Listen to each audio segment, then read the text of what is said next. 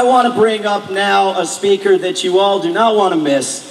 Someone who we are very, very privileged has been able to come out on this incredibly hot day. And by the way, as you're standing out there in the sun, imagine you're in a cage. Imagine what that is like. I want to bring up somebody who has been working and fighting and struggling and writing and speaking for peace and justice for just about as long as Dick Cheney has been doing the opposite. Founder of the Institute for Policy Studies here in Washington, D.C., Marcus Raskin. Please welcome Marcus Raskin to the stage.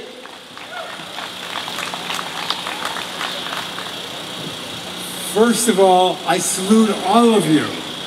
And you should salute your neighbors right now. Salute your neighbors for what they do.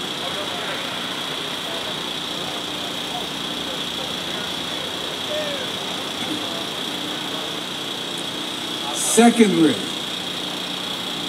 I'm going to talk about something which the president says that he's already agreed to, which is that he is against torture.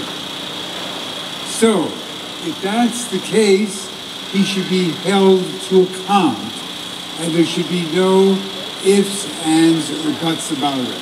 He now must come forward and indeed hold responsible the CIA as well.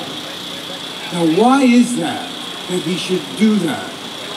because there is no way that a particular part of the government should be, no part of the government should find that it is exempt or excluded from being responsible to what it does.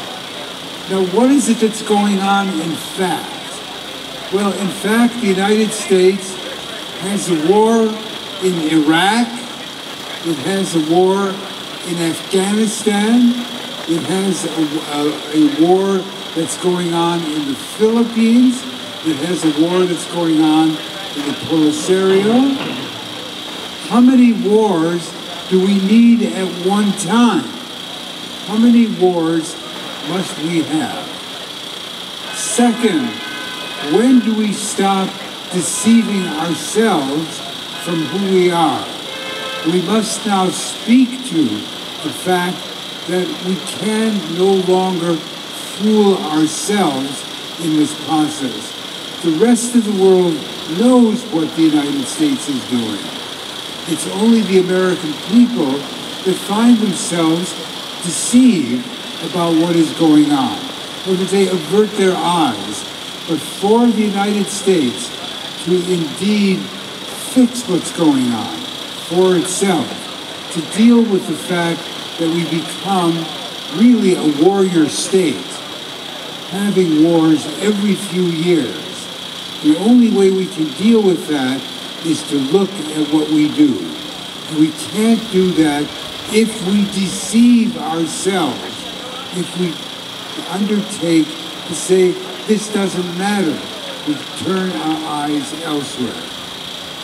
So join me in this effort.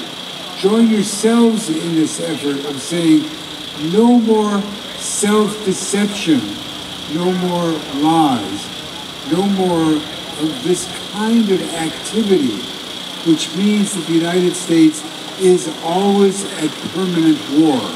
It must stop itself from the permanent war idea and ideal of who the American people are that is crucial at this stage for our society and for getting to the question of indeed disarmament and peace.